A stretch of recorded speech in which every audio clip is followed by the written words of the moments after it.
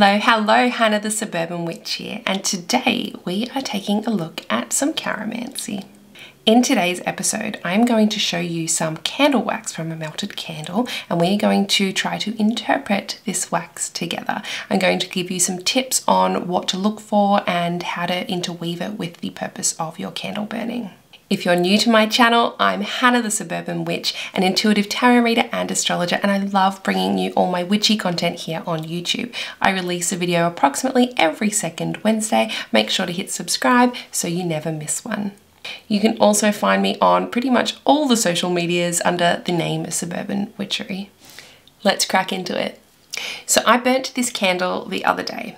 Now this is a red candle as you can see so that already might give you a little bit of a clue uh, as to what the purpose was for this and if you are an Instagram follower you may have already seen this on my story as we have done this exercise already. So I can give you some of the things that people saw as well and how they may or may not have related to what this is. Okay take a deep breath and just have a look at what you can see here just going to turn it very slowly.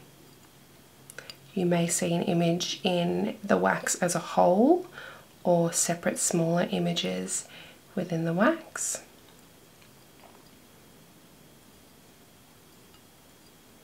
What's coming to your mind? What do you see, feel, hear?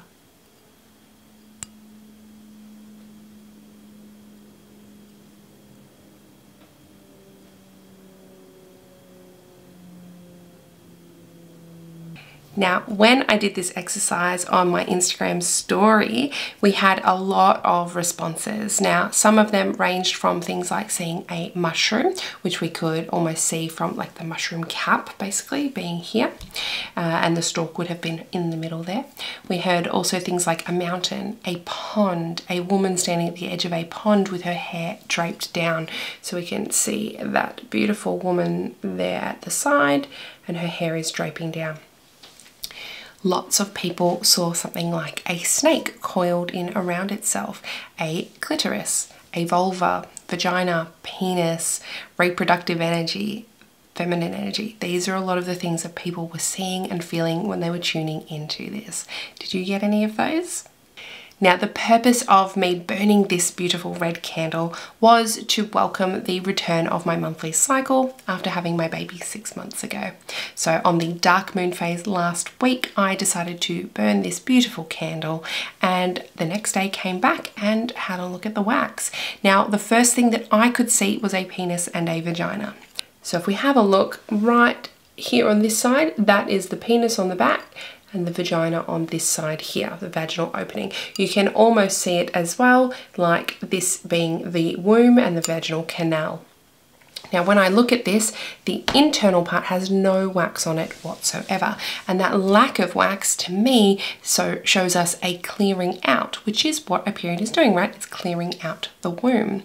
Now, a lot of people saw snakes. Now snakes works in with this as well. Snakes represent rebirth, shedding the skin and shedding the layers. Now a period is shedding the uterine lining. That's what it is, okay? So that absolutely works in here with the meaning.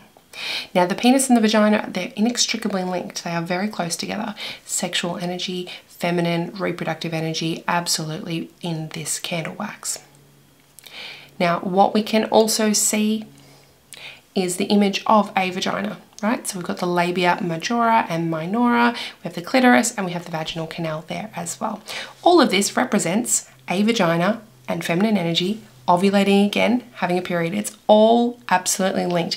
And what I would take away from this, and the first thing that I thought was my body is basically saying it's ready, it's in working order, give me a baby whenever you're ready. That's what it's saying, right? Now, I have a six month old, that would be a little bit chaotic to get pregnant right now. It's not something I'm trying to do, but my body's just telling me it's all in working order and doing what it should. Now this is just one way of doing carromancy, which is reading the wax from your candle. So if you light a spell candle, you can see the way that it burns and the way that it makes shapes. Now you can do this as it's burning down or at the end when it's left over like this. Not all candles will leave a pool of wax like this. Some just vanish completely. Now, if yours vanishes completely and it's a spell candle, I'd say that is a good sign your spell has manifested out into the universe.